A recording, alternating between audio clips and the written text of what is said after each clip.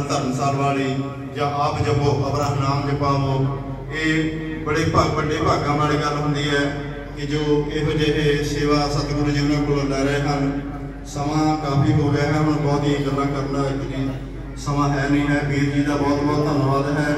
ਸਵੇਰੇ ਤੜਕੇ ਅੰਮ੍ਰਿਤਸਰ ਸਾਹਿਬ ਤੋਂ ਚੱਲੇ ਹਨ ਤੇ ਸਾਡੇ ਕੋਲ ਸੰਗਤਾਂ ਵਿੱਚ ਪਹੁੰਚੇ।